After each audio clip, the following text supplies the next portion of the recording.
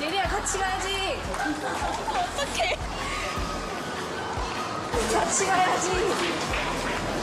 다 어디 갔어요, 멤버들? 어떡해.